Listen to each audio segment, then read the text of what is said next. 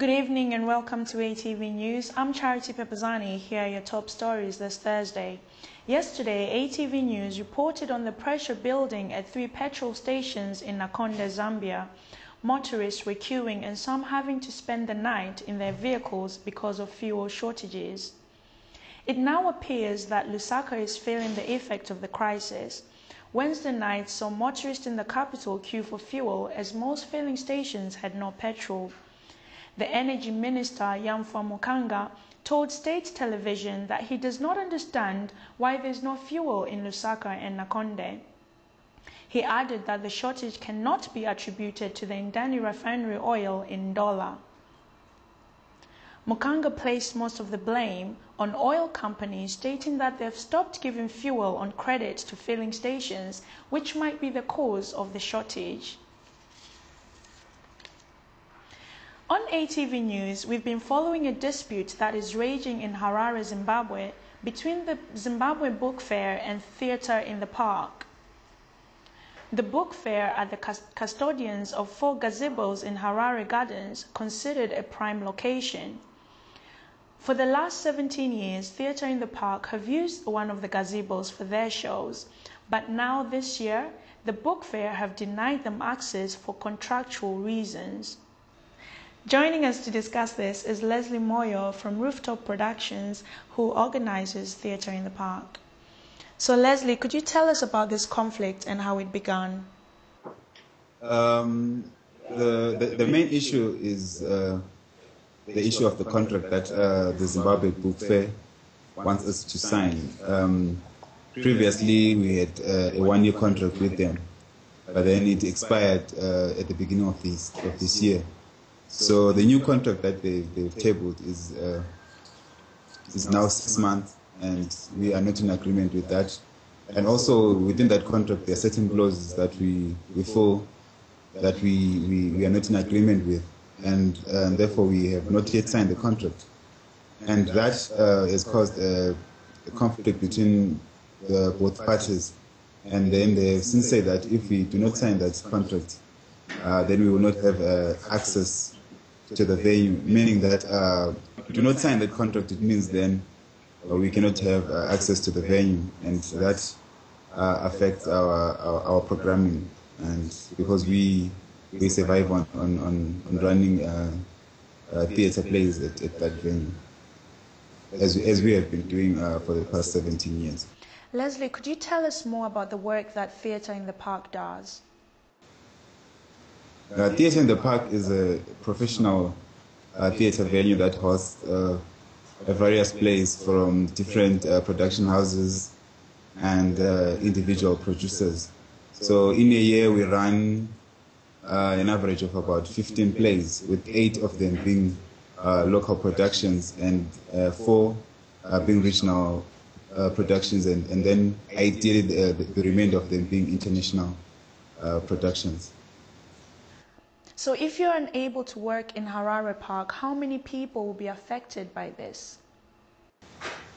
Uh, so far, it has it has already affected uh, around about uh, 30 artists because we have had to cancel about four shows, and uh, we we all in a year uh, we work with uh, over 80 artists and so we, we that, that's that's the number that we are looking at, at people who will be directly affected uh, with, uh, with, with with with with, uh, with us not uh, having any shows.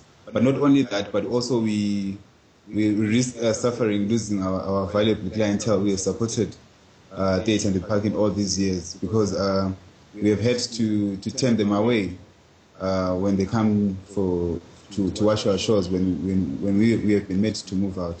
So we uh, so artists uh, risk losing uh, their source of income, and also we risk uh, losing and uh, uh, our clientele. And not only that, but also a 17-year-old legacy that we have built.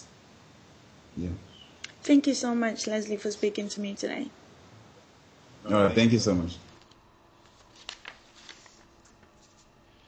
In Malawi, there's a panic as pharmaceutical drugs across the country are being recalled due to substandard quality. The Pharmacy Medicines and Poisons Board is calling aspirin tablets and Ringer's lactate, which are manufactured by Pharmanova Limited and Nama Limited respectively. The decision comes after the board carried out a post-marketing inspection in various clinics, medicine stores and pharmacies across Malawi. Acting Registrar for the board, Wilfred Matia, confirmed that some of the drugs were substandard and should not be taken as medicine. Some of the drugs were even found to be molding. In entertainment news, yesterday on ATV, we told you about Zambian rapper Ruff Kid and his award for Best International Artist at the BEFFTA Awards in London. For those that missed it, here's a clip of Ruff Kid's big collaboration with Slapdee and Zone Fam.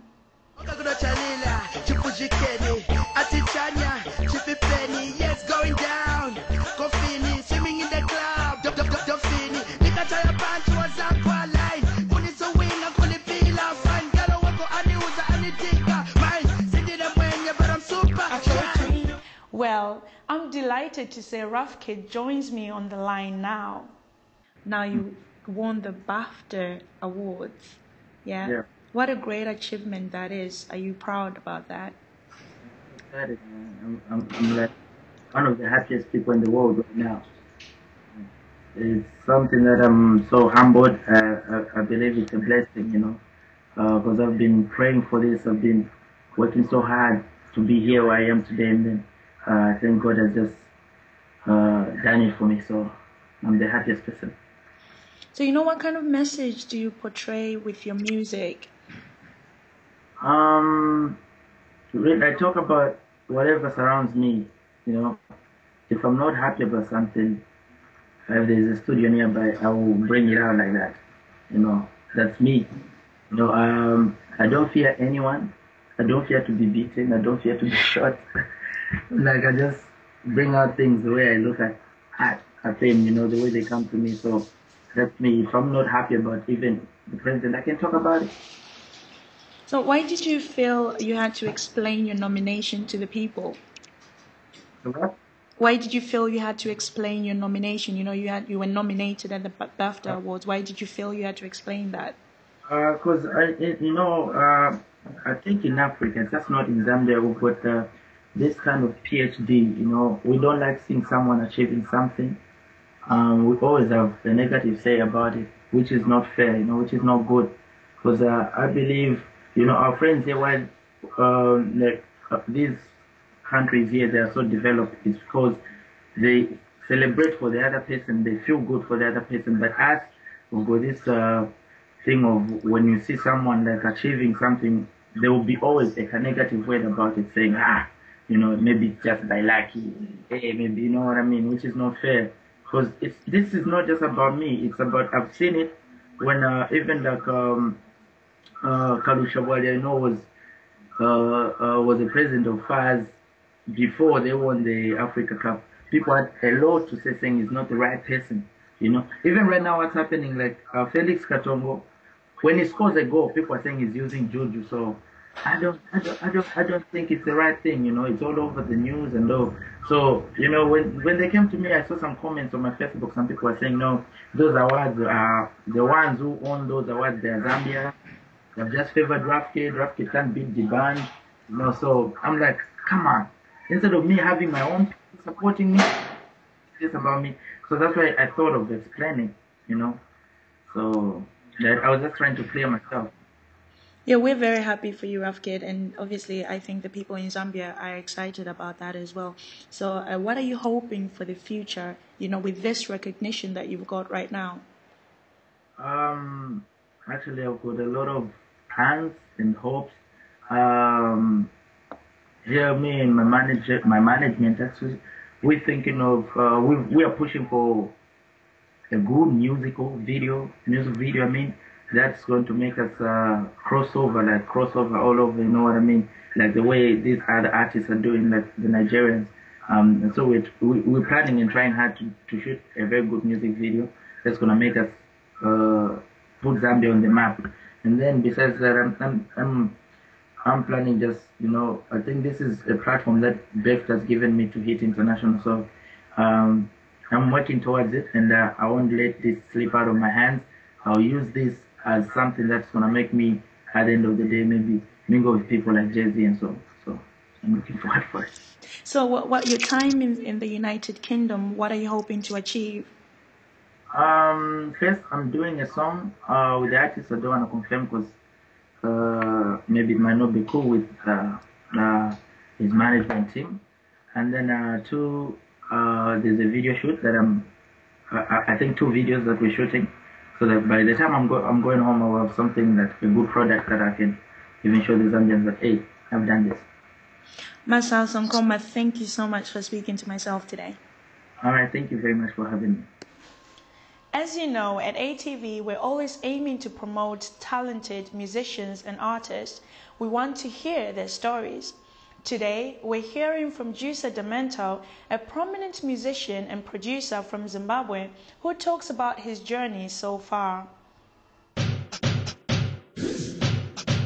Juicer Dementa came from um, people called me the producer, and then they called me Da Producer, and then it was shortened to Juicer.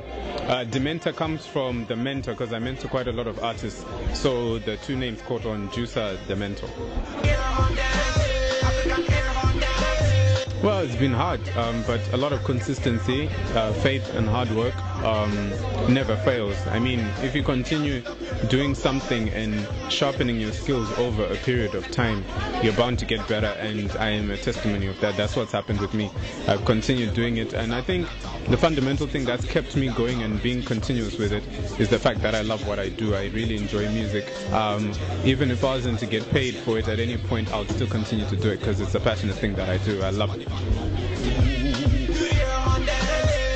Recently, I worked with the great Beenie Man. I work with artists from Nigeria like Show Dem Camp. Um, I'm working. I'm currently working on something with Davido. Um, I've worked with uh, Nox, Winky D, Stana, Robbie G, Beacon Cash, Decibel, uh, Shanky, Cynthia Mare, um, Cindy.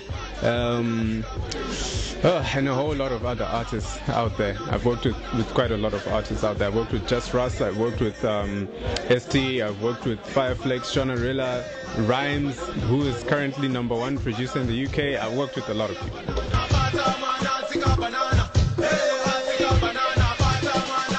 Again, I think it comes down to consistency. I mean, Rhymes, I remember, Rhymes was like 15 when I met him and was going to um, a high school in Derby, which is the area I live in uh, here in the UK. And um, we used to just meet up. He would come after school to my house and we'd just be playing around on this um, uh, music program software called Fruity Loops. And um, it just developed. We kept on pushing and, you know, we've never stopped. I don't think there's ever been a month where either one of us has never made a beat.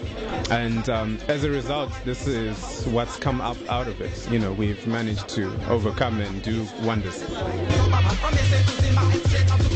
Just continue working hard, but making sure that each time you're um, reaching a milestone, sharpen your skills. Make sure you're getting better. Don't just work hard and remain at the same level. Always try and analyze yourself. You know, do appraisals of your own work. Find out where you're at and what you went, what you did wrong, what went wrong, and then develop yourself from that and move on. And you surely will overcome.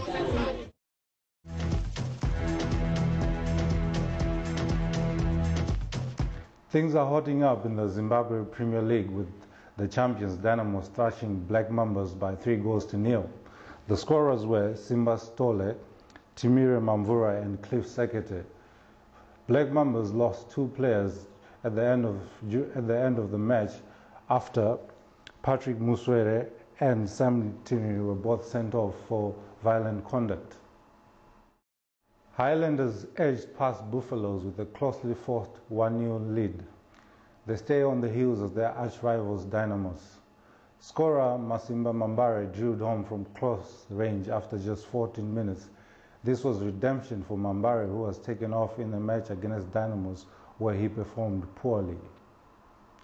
Highlanders should have scored more but they had but they still got away with three points to stay in the title race. Chicken Inn thrashed Blue Rangers by five goals to one with an impressive display. Tabani Goredema scored in the fourth minute Other goals came from Thomas Chimenya, Brian Beery, and Mahachi. Blue Rangers are still, though, fighting relegation. In Malawi, Blue Eagles FC said they did not clear striker Chikondi Mpulili to play for the Azam Tigers. They are accusing the Tigers of illegally playing Mpulili in their match against Silver Strikers. Tigers have hit back and claimed that they did in fact get clearance from Eagles to use the player. The argument is expected to continue and the Super League of Malawi is expected to make a comment on the issue. And in Zambia, Chipolopolo coach Hervé Renard has named a 23-man developmental team to travel to India for a 10-day intense training program. According to initial statements from the trip sponsor, Konkola Copper Mines, the tour is part of the team's intense preparations for their title defense. Football Association of Zambia communications officer Eric Mwanza said say that the team would leave for India on the 19th of November, two days after the closure of the 2012 soccer season, and return by the 30th of November. That's all for tonight's sports. Good night.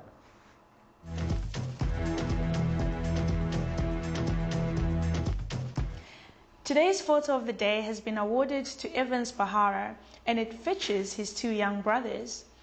Keep sending us your great photos to our ATV Facebook page and you could appear on the big screen. Thank you for watching ATV News and have a good evening.